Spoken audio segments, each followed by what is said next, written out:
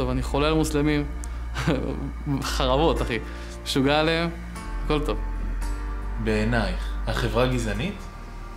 אה, אנחנו חיים במדינה מאוד גזענית. המדינה לא גזענית, אבל יש אנשים גזעניים. קשה לי לתפוס גזענות. לא יכולה להבין איך בן אדם מצליח לחשוב שהוא יותר טוב מהבן אדם שנמצא מולו.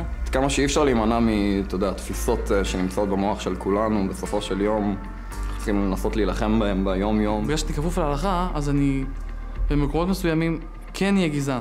אני מאמינה שאהבה היא לא מסתכלת ולא מכבסת, לא על דת, לא על צבע, לא על גזע.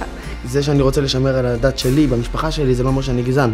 באיזשהו מקום אני חושב שכולנו קצת גזענים. קודם כל תהיה בן אדם, אוקיי? כולנו גזענים, לגמרי. בטח לא כולם. יש אנשים שהם גזענים ויש אנשים שלא. קשה, קשה לקבל פה את השונה מאוד. הייתי עם אתיופי, בעלי הוא מרוקאי, אני אשכנזייה. כן, יש פה מקום לקבל יותר אנשים שונים. אל תשפוט מישהו בגלל שהוא כזה או אחר. גם אותם אנשים הם אנשים מוכשרים והם שווים בני שווים.